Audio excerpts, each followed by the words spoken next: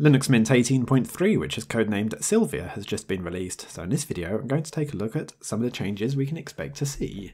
So first off, the kernel and base operating system versions. So we have Linux kernel 4.10.0, and it's based on Ubuntu 16.04.3. First off, one of the features that will be going is the KDE Desktop. This is the final release of Mint. that will feature the KDE Desktop. Incidentally, in this video, I'm looking at the Cinnamon desktop, and it is Cinnamon version 3.6. Linux Mint do provide an upgrade path to Mint 18.3 from earlier versions of Mint version 18, and quite frankly, I don't see a reason why not to, really. It's been perfectly stable so far from what I've seen. There are a few new features which we'll come on to, and, but there is a method of manually installing here which is provided in this blog page, and I'll leave a link to it in the video description. The software manager has been redesigned, so a nice fancy new look, kind of more reminiscent of the GNOME Software Center. So I can click on one of these applications, takes me across to the preview of it, got a nice screenshot there, and we still have the application ratings and reviews. What I was a bit surprised about initially was discrepancies on the size of install to the size of disk space required. Initially on Audacity it was wildly out, but uh, let's take another look. Perhaps it has corrected itself after a couple of reboots. So comparing it to Synaptic Package Manager. Okay, yep, that's the additional changes. So to apply that one change, we're going to have 75 meg of extra space will be used and 18.7 will be downloaded. And that is actually corresponding quite nicely now. Another screenshot that was shared with me had this software manager as being under Synaptic, so I'm not quite sure what's going on there. I noticed that Spotify is enabled in the system repositories, yeah, disk space seems to be a bit under what I saw yesterday, which was about 700 meg yesterday. It's now 295, which seems a little bit more reasonable, although still quite chunky actually for all it is. Compatibility with Flatpak has also improved with this release. Although it's typical of Mint to go down Flatpak when Ubuntu went down Snap.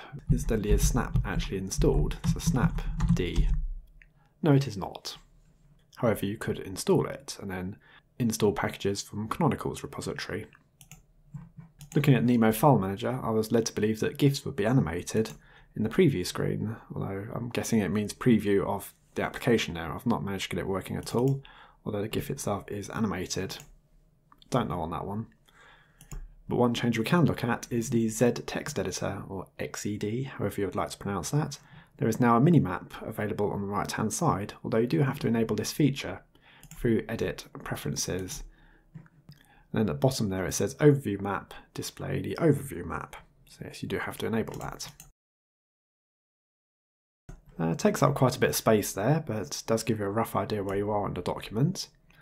I'm not quite sure what's gone on in the formatting of this though, because uh, yeah, that's not right. Why does it think there's a string and comments? I'm, I'm not too sure what's gone on there. Viewing file within Git and Kate seems to render perfectly fine, so it, I don't know what's gone on here with Xed, but yeah, hasn't quite interpreted it correctly. Although when you get further towards the end of the file, I think it does pick up again and sort itself out. Kind of. Yeah, eventually. Oh, I think it's one of those quotes, isn't it? It gets confused with a single quote in a comment, so it's not really interpreted this file as a bash script which is. A new backup manager has been added with Timeshift. So this will create a snapshot of your operating system excluding the home folder. Well, it excludes the home folder by default, unless you specifically state that you want to add in the home folder. So you can have user home directories. You can choose different types of backups, so if you're using the B-tree file system, you can use that feature. If you're using any other file system, which by default is extension 4 in Linux Mint installer, you can use the rsync. What puzzled me though is I can't seem to get it working. Select snapshot, so I've got a secondary hard drive here on this system, although it's a VirtualBox, it does have two SATA hard drives allocated to it. So it says selected device does not have a Linux partition. Well, it's weird because it does. There's the backup drive, there's a test folder. Um, yeah, that's actually writable, and it's an extension 4 drive, so I don't know what you want me to do there. Yeah, file system type extension 3 slash extension 4. Well, it's extension 4. I don't have a problem like that when I'm using CloneZilla, so using rsync it would only back up what has been changed, so you'll effectively have one backup that you refresh and add in new files and delete any old files that have been removed. It means your initial backup will be very long winded, but then subsequent backups will be very quick. On the downside, though, if something becomes corrupt or you delete something uh, a couple of backups ago, then it will be lost forever. On the plus side, though, it's quick and easy. You can schedule how often you want the backup. As I mentioned, you can include users' home directories, and you can exclude certain file types. I want to take a look at the login options now, and one feature I should mention is the sudo password should be asked for less frequently. So there's more options now on the login window, so we've got options to change the theme, quite a few different themes there we can choose from, a few different icon themes, optional pictures. So on the user list you can allow manual login, hide user list, either allow or disallow guest sessions, you can do an automatic login. A point that this would be useful on is a multi-user system or even a corporate environment logging into an LDAP server or Windows server. Under settings, you sometimes have options for numlock. I don't seem to though. And we do have options for HiDPI support, the high definition displays. And by default, that is automatic. So one feature of Cinnamon 3.6 is improved HiDPI support. Uh, taking a look at the desklets, so we can right click on the desktop and go to Add Desklets. The name I've seen this mentioned as is Cinnamon Spices, and it comes with a refined user interface. Oh, just an example, we could just download the desktop calculator.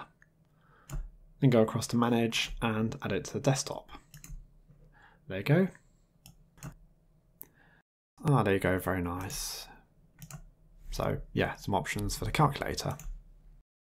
There's improved progress bar display now on all the applications. So if I do something like uh, installing the Linux kernel update here, which is very frowned upon in Mint, but tough luck, it's a security feature. So, oh, we've got Synaptic already running, my mistake. Let's get rid of that. And there you go, you can see the progress bar. Very nice.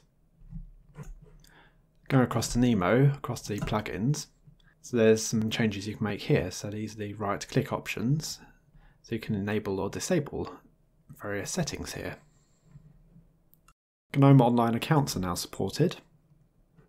It's not really something I've used for a long time now. I think I kind of moved away from this when I left Ubuntu behind. We'll get a new selection of desktop wallpapers, and there's also been some translation updates. So yeah, quite a few changes have been made to Linux Mint 18.3. Thanks for watching, I'll see you all later.